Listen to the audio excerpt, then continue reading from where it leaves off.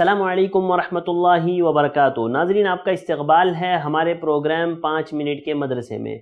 हम आपके शुक्रगुजार हैं कि आप हमारे साथ शुरू से जुड़े हैं, आप हमारा प्रोग्राम कंटिन्यू देख रहे हैं और आपको इंशाल्लाह हमारी बातें पसंद आ रही होगी, आप उसको याद भी रख रहे होंगे और अमल भी कर रहे होंगे। अल्लाह ताला हम तमाम को अमल की तौफीक दे। आज का हमारा पहला मौजू है कुरान अल्लाह ताला ने फरमाया सुम बुक मुन फ़हुम ला बहरे, गूँगे, अंधे हैं, बस वो नहीं जानते। अल्लाह ताला ने उनके बारे में, यानी मुनाफिकीन के बारे में कहा कि वो खैर की बातें सुनने से बहरे हैं। खैर की बातें आप कितनी भी उनके सामने करें, कोई फ़ायदा उन्हें होने वाला नहीं। वो अपनी ज़बान से अदा करने से आजिज़ है, ज़बान से बोल नहीं सकते वो। और नमत बसीरत से महरूम है, इसीलिए वो लोग हक की तरफ़ कभी भी लौट कर नहीं आएँगे। तो नाजरीन, ये अल्लाह ताला ने उनके लिए वाजह कर दिया कि अब अल्लाह ताला ने इनके कान, आँख और जो है उनकी ज़बान तीनों बंद कर दिए। बहरा, गूँगा और उनको अंधा बना दिया है। अब जब बहरा, गूँगा, अंधा न किसी चीज़ को सुन सकता है, न बोल सकता है, न देख सकता है तो बस उनका मामला भी यही है, ना वो हक सुन सकते हैं, ना हक बोल सकते हैं और ना ही हक बयान कर सकते हैं। ये तीनों चीज़ें अल्लाह रब्बुल ने उनसे सलब कर ली है। नाजिन चलते हैं हमारे आज के दूसरे मौजू की तरफ़। हमारा आज का दूसरा मौजू है सुन्नत। सुन्नत में आज हम बात करेंगे जनाजे पर मैत पर मिट्टी डालने के ताल्लुक से।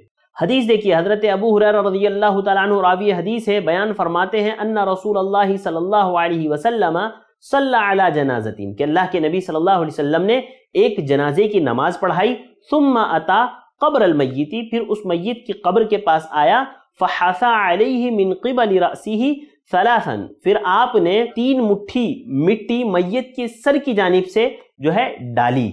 यह हदीस मुझे और आपको बताती है कि मैत को तीन मुट्ठी, तीन लप मिट्टी देना यह सुन्नत है। ये मसनून है और अल्हम्दुलिल्लाह हमारे यहाँ लोग इस पर अमल भी करते हैं। लेकिन अफसोस की बात यह है कि जिस तरह हमारे हर अमल में एक बिदात ने या किसी ज़यीफ़ हदीस ने जगह ले ली है, यहाँ भी वही मामला है। लोग मिट्टी तो देते हैं, साथ ही साथ उसमें दुआ पढ़ते हैं। मिनहा खलकना कुम वफ़ीहा नुईदुकुम व मिनहा नुखरीजुकुम तारतन नुखरा। याद रखिए, ये दुआ साबित नहीं है। ये दुआ अल्लाह के नबी सल्लल्लाहु अलैहि वसल्लम से साबित नहीं है मुझे और आपको ये दुआ नहीं पढ़नी है। कोई भी ज़िक्र उस वक्त मसनून जो है अल्लाह के नबी सल्लल्लाहु अलैहि वसल्लम से साबित नहीं है, बल्कि इतना ही है, आप तीन लप मिट्टी लेते और आप कब्र पर डाल देते। बस यही साबित है तो यही अमल हमें करना है। और उसमें एक और बिदात हमारे यहाँ ईजाद हो गई है और एक और बिदात ने जन्म ले लिए। याद रखिए, जब जब हम सुन्नत को तर्क करेंगे, ज़रूर भी ज़रूर बिदातें जन्म लेंगी। और यहाँ पर एक और बिदात ने जन्म ले ली, वो है खौल की मिट्टी।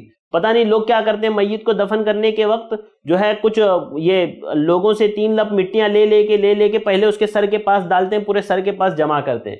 भाई, कहाँ से तुमने ये अमल लाया? कहाँ से तुमने इस बिदात को ईजाद कर ली? हाँ यकीनन अल्लाह के नबी डालते हैं, उसके सिरहाने के पास से पूरा मिट्टी डालते तो आप भी डालिए सिरहाने के पास से, आपको किसी ने मना नहीं किया है।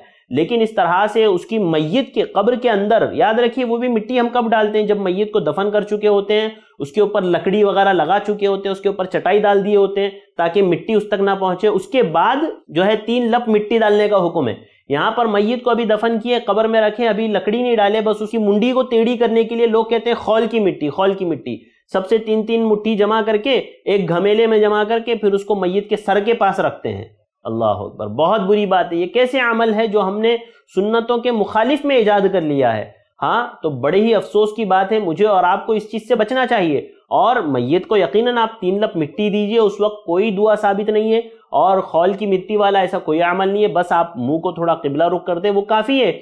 मैत के कोई आपको जो है अलग से मिट्टी लेकर के उस पर डालने की ज़रूरत नहीं है। इसी तरह से लोग और भी दाते करते अहदनामा उसमें रख दिया। अरे भाई, उसमें आप लिख करके रख रहे हो। भला, बहुत नेक था अच्छा आदमी था। ऐसा था, फला था, ढिंगा था, क्या फरिश्तों को नहीं पता? फरिश्तों ने तो सारी ज़िंदगी उसकी नोट की है। हाँ उसका एक एक लम्हा, उसकी एक एक आन नोट की है। क्या अल्लाह ताला को उसके ताल्लुक से नहीं मालूम जिसने पैदा किया? आप किसको ये सारी चीज़ें लिख करके दिखा रहे हो?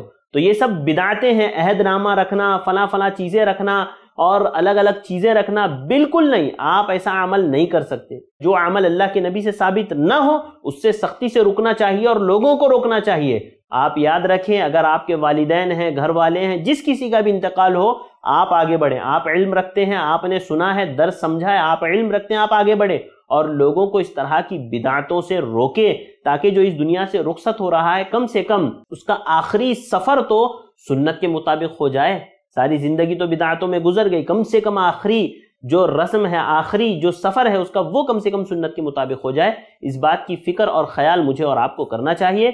नाजिन आज के लिए बस इतना ही। मुझे दीजिए इजाज़त इन फिर मुलाकात होगी कुछ और बातों के साथ। अल्लाह ताला हम तमाम को नेक बनाए, बिदातों से दूर रखे, सुन्नतों पर अमल करने वाला बनाए। आमीन। अस्सलाम वालेकुम वरहमतुल्लाहि वबरकातुहू। दीन की बात आम करने में आई प्लस टीवी की मदद करें। पेटीएम या गूगल पे के लिए हमारे नंबर्स पर ट्रांसफ़र करें।